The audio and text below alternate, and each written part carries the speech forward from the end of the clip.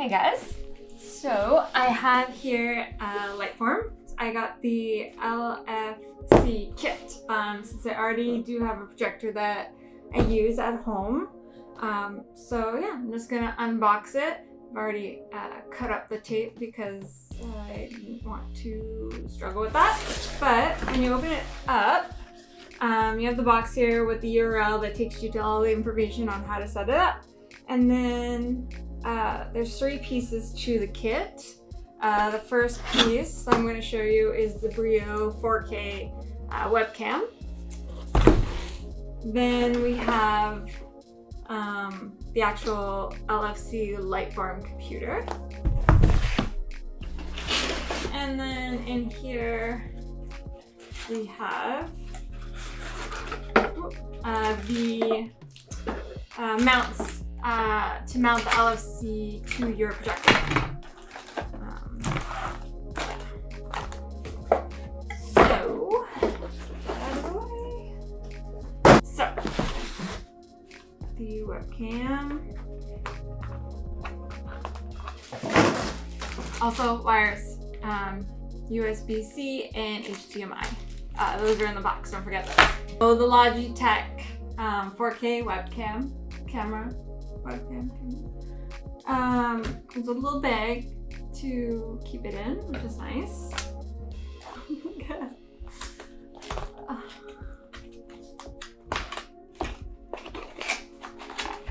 the Lightform uh, LFC computer.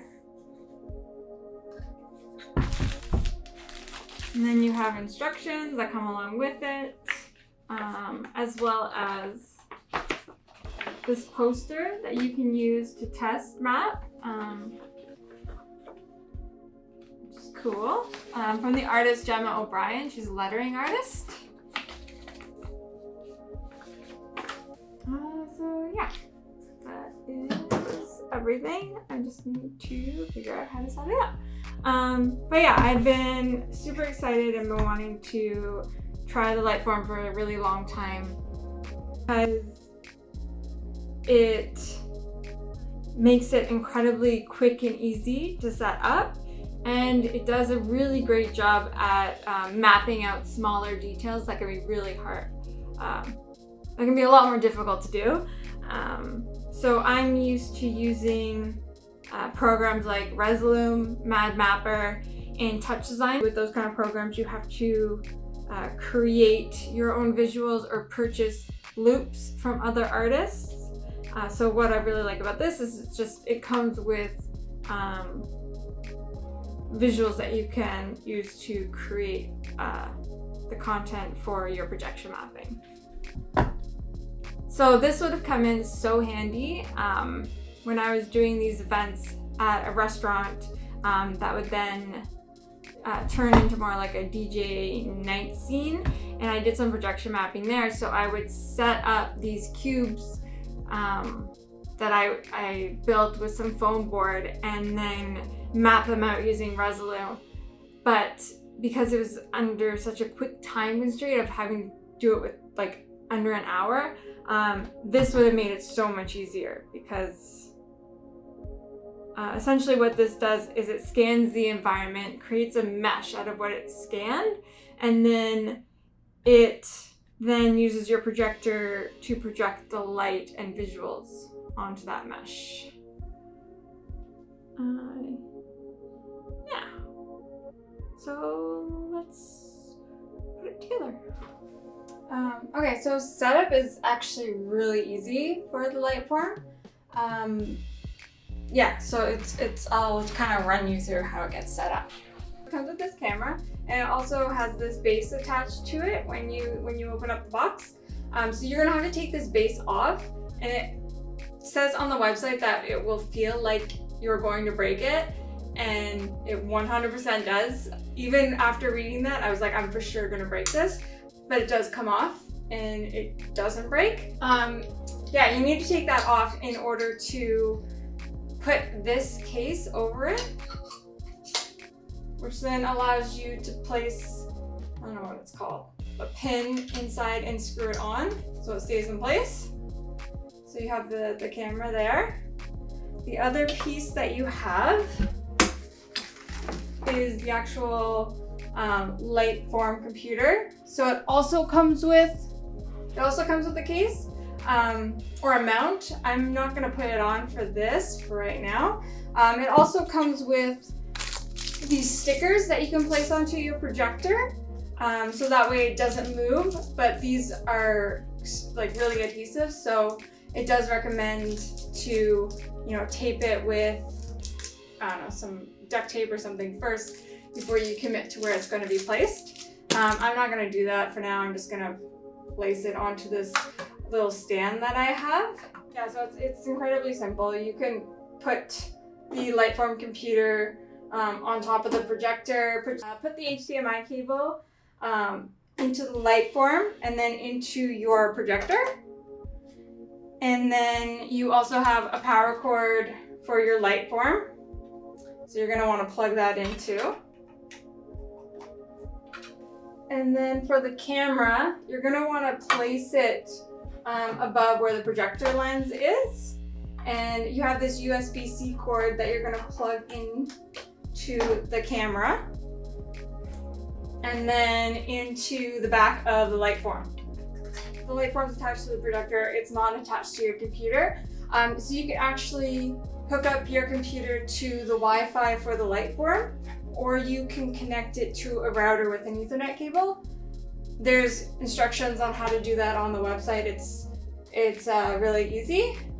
Yeah, so once you have it all hooked up, you're gonna wanna make sure that you um, download the Lightform Creator. There's a link to it on their website. Yeah, so the URL is provided on top of the box uh, that the Lightform comes in and you just go to that and it gives you all the instructions on how to set it up and where to download the Lightform Creator.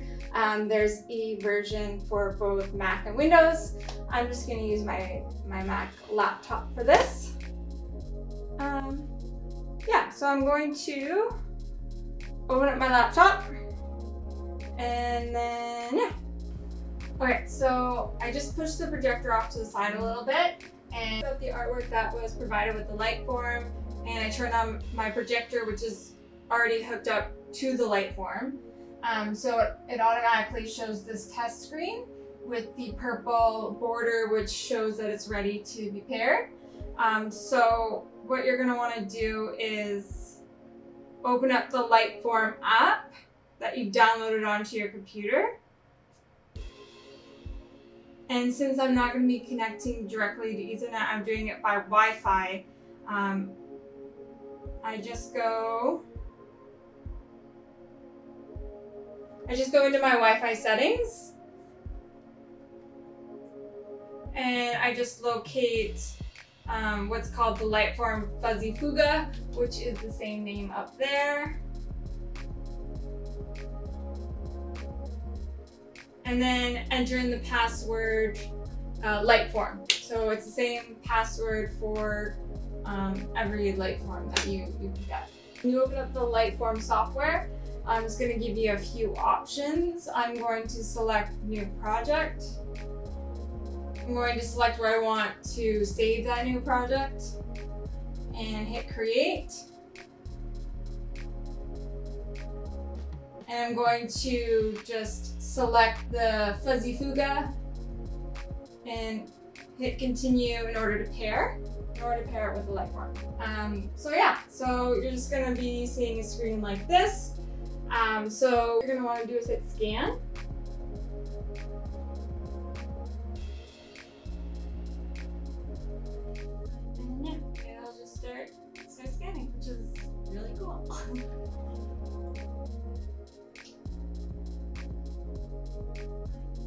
Doesn't take very long, just takes like few, few moments.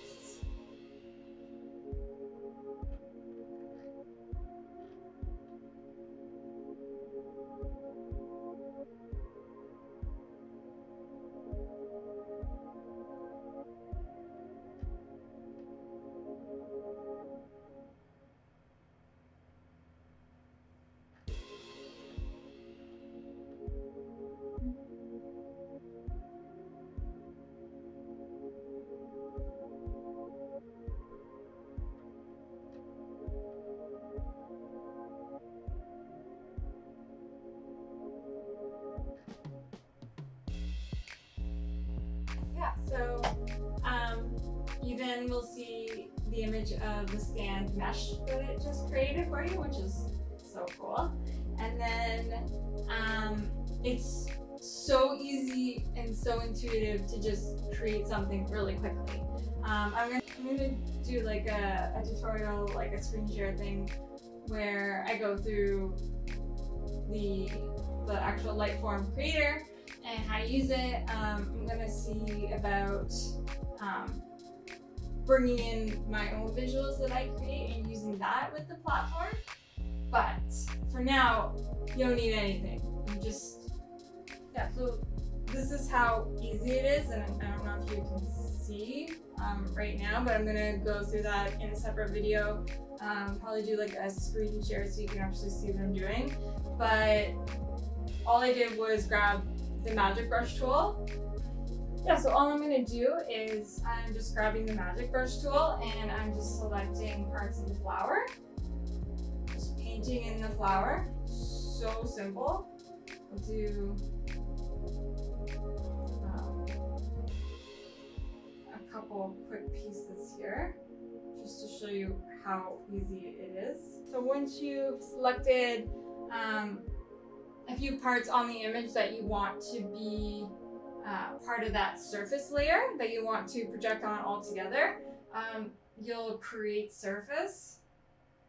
And then once that's done, you can then go to the asset browser and just hit insert content and hit preview and it's and it's up. It's so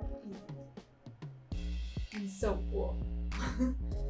and this took no time at all. I just clicked a few spots on a scan that it already created for me, so I didn't have to like map anything out. And you can get way more technical with it um, and be way more precise with the pen tool um, or just painting with the paintbrush.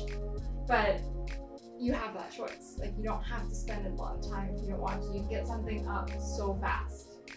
Yeah, and I was playing around with a plant in my living room, and I, I would never be able to do that before. I'm sure I could figure out a way to do it like touch designer or something, but that's way too technical for me.